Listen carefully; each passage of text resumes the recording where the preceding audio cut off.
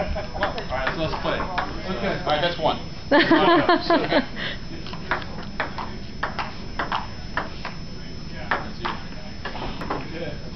Once. I'm gonna move right we get title Glenn comes and drags you out. So how does it feel being... This is where I wanna work. Um, This is where I wanna work. One, two. David, how does it feel being uh, BTC? Big BCC? BTC. Aren't you the BTC? What's the BCC? Block traffic controller? Block traffic control. Oh. Hey, you're good. You're How do good. we know when you guys when you guys comment? How do we know who's talking? You don't know, that's, that's the whole. Is that the secret? Yeah, You want that's the secret. So who's the let me remove my house from Zillow guy? That's the Joker. Oh, that's who? That's the Joker. He's Oh, really? Okay. I'm the radical one, the radical one. Ben? Yes. I'm Kim. Oh.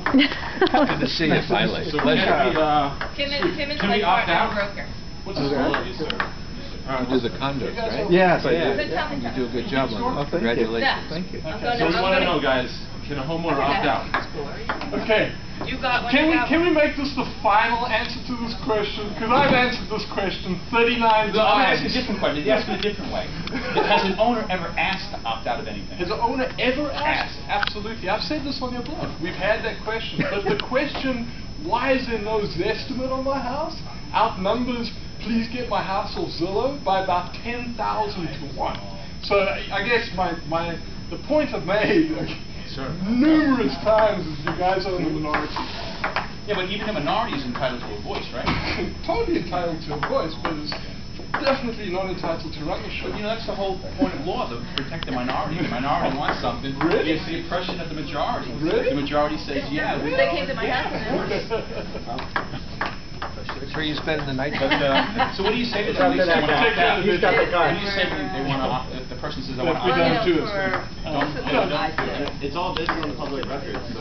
Okay, it's based on public record- Oh, no, you're fine. This is a good, so that's a good question, actually. I- It surprises me that you guys promote a site that seriously, you know, We're, uh, puts we're in privacy Vancouver at for risk. real estate. whereas I work Zillow, Zillow does not publish your name. Oh, I used to manage a couple of bands for years. Is it a ping pong game or is it a discussion? I think it's bigger debate? than- Uh, Caroline Crush. On video.